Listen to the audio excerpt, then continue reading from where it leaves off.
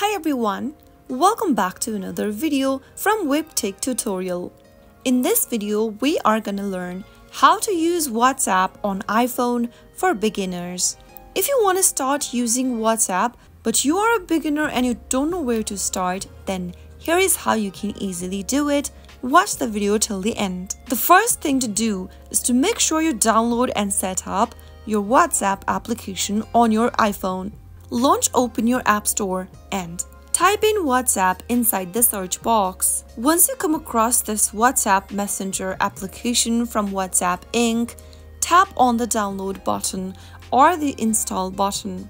WhatsApp is a free and popular messaging application for smartphones that allows you to connect with friends and family through text, voice, and video calls. The application is available for Android, iOS, and other platforms. Some of the key features of WhatsApp are messaging, group chats, voice and video calls, express yourself with fun GIFs and stickers, end-to-end encryption message, and the application is free to use with no ads or subscriptions. However, you may incur data charges depending upon your mobile plan.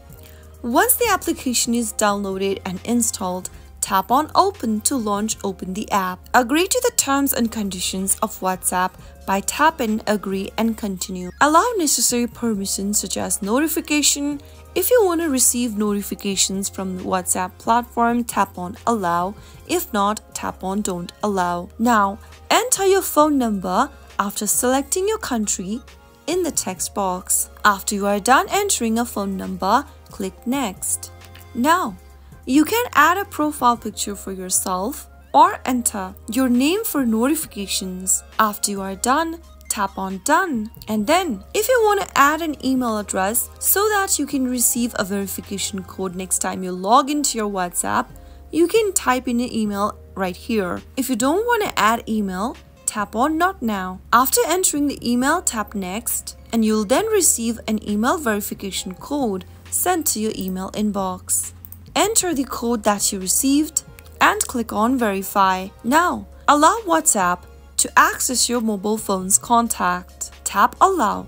In order to do so, in the Chats tab, you will see a list of your contacts who uses WhatsApp.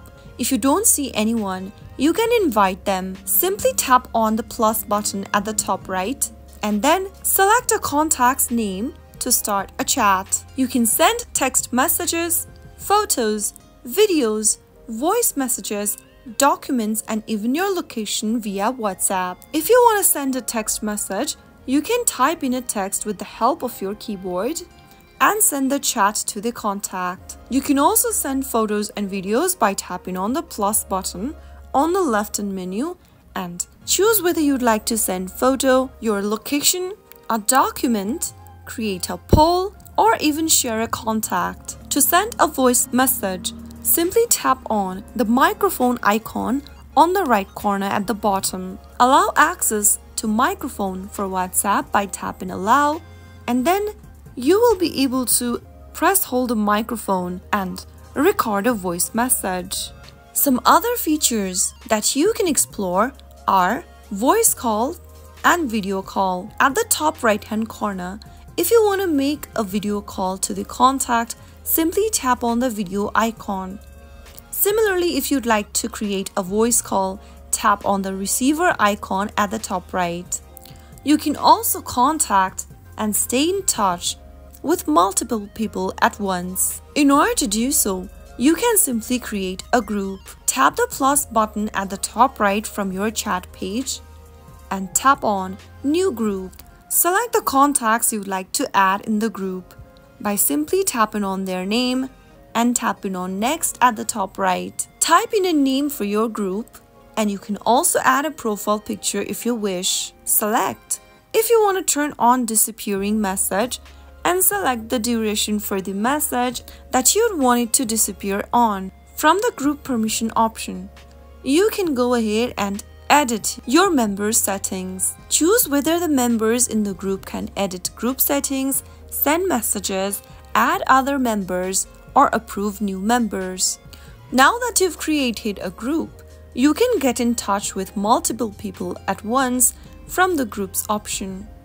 Another thing you can do from WhatsApp is customize your privacy settings. Adjust your privacy settings to control who can see your profile picture, last seen status, and online status.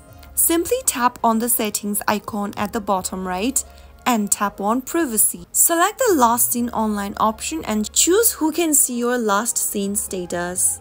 You can also choose to stay offline or online in the platform by selecting from the options. Similarly, you can also choose the privacy settings for your profile photos, groups, status, your about information, your live locations, and much more. So that was some basic steps for beginners to learn how you can easily use WhatsApp. Always be cautious about clicking on links or opening attachments from unknown centers while operating WhatsApp. If you want to learn more about WhatsApp, stay tuned to our channel and mention your queries in the comment box below. I hope the tutorial was helpful to you. Thanks for watching.